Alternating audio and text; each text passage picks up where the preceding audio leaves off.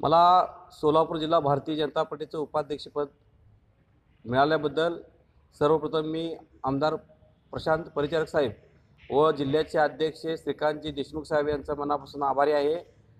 या देशाचे पंतप्रधान मोदीजी या राज्याचे विरोधी पक्षनेते फडणवीस साहेब चंद्रकांत दादा यांच्या आदेशानुसार आणि आमदार प्रशांत परिचारक साहेबांच्या मार्गदर्शनाखाली भारतीय जनता पार्टीचं काम करत असताना या पंढरपूर विभागामध्ये सर्वसामान्य जनतेचे प्रश्न सोडवण्यासाठी माझा सर्वप्रथम अग्रक्रम असणार आहे.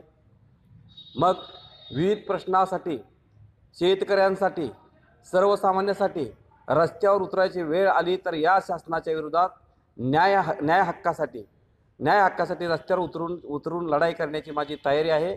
गावगाड्यामध्ये राहणारा सर्वसामान्य कुटुंबातील शेतकरी असेल सर्वसामान्य असेल परंतु भारतीय जनता पार्टीचं काम हे शेवटच्या झोपडीपर्यंत पोहोचवण्याचं काम या पदाच्या माध्यमातून मी करणार आहे.